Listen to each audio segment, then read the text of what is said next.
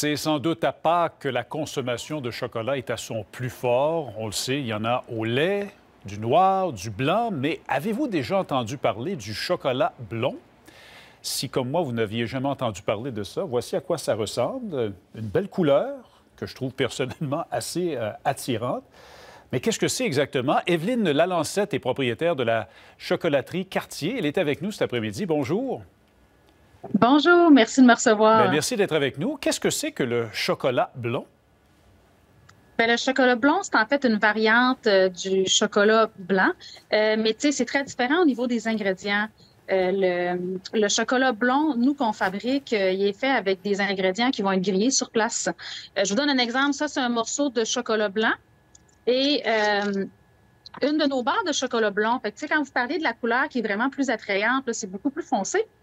Euh, nous, ce qu'on fait en magasin, c'est qu'on va, entre autres, euh, utiliser du sucre de canne, du beurre de cacao brut, euh, mais aussi, on va faire griller notre poudre de lait sur place. Ah. Ça va faire un, chocolat qui est absolument délicieux, qui a des notes de caramel, de fromage à la crème, vraiment, qui a beaucoup de, de corps et de saveur. Est-ce que c'est encore plus sucré que le chocolat blanc, qui, si je ne me trompe pas, est encore plus sucré que le chocolat au lait? Bien, le nôtre est moins sucré parce que c'est un produit artisanal, mais aussi comme il y a plus de, goûts, bien, on goûte pas juste du sucre, on va goûter vraiment toutes sortes de, saveurs à l'intérieur. Donc, ça a vraiment plus de, personnalité, en fait, que le chocolat euh, blanc traditionnel. Puis le nôtre, il est moins sucré, question pourcentage aussi. Et je lisais un peu plus tôt aujourd'hui que le chocolat blond, ça a été découvert en Europe euh, par accident?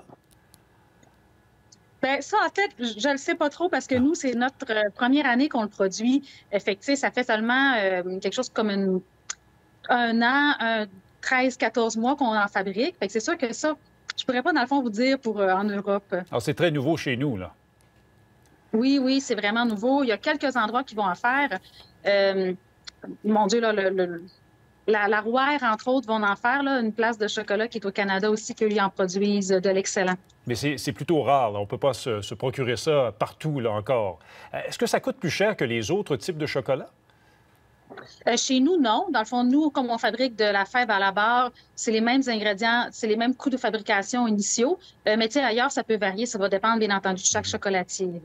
On a l'habitude des œufs, des poules, des lapins au chocolat à Pâques. Euh, est-ce qu'il y a des, nouveautés cette année en termes de chocolat?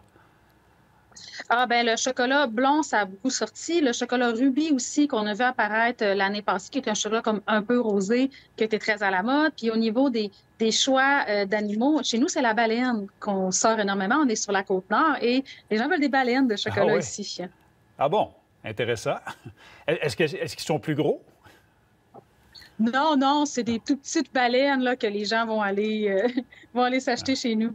Est-ce que les gens achètent encore beaucoup? Est-ce que c'est comme avant à Pâques, les gens achètent énormément de chocolat ou c'est un peu diminué, notamment en, raison de, de l'inflation qui n'épargne pas le chocolat? Ben, l'inflation, ça a, changé un peu le budget des gens quand ils magasinent. Nous, on n'a pas vraiment vu de différence par rapport à l'année passée. On a sorti nos chiffres et on a vu que c'était plus ou moins pareil. Euh, par contre, les gens, ils vont acheter souvent plusieurs petites choses plutôt qu'acheter un gros lapin gigantesque. Ben, ils vont se prendre un petit lapin, euh, des petits œufs style fondant, des petites choses pour faire comme un beau panier plutôt qu'acheter une seule euh, grande figurine. À quel point les prix ont monté? Parce qu'en raison des changements climatiques, ça a beaucoup affecté les cultures dans bien des coins du monde. Euh, ben, nous, on n'a pas encore modifié nos prix. On se doute qu'on va devoir suivre. Euh, mais comme on fabrique notre chocolat, ben, on, on, achète nos matériaux. Ça va prendre un petit moment avant qu'on en rachète puis qu'on fasse face à la, hausse des prix. Euh, c'est certain qu'il va y avoir beaucoup de changements dans les prochains mois pour le, chocolat. On espère que la prochaine récolte va être excellente pour que les, prix fluctuent à la baisse, mais on n'a pas de pouvoir là-dessus. c'est ce qu'on souhaite tous, effectivement. En terminant, est-ce que c'est effectivement la, la période la plus achalandée de l'année pour vous, les chocolatiers? Euh, la période de Pâques?